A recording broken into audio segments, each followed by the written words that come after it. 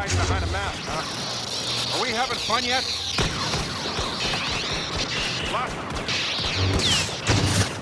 yet?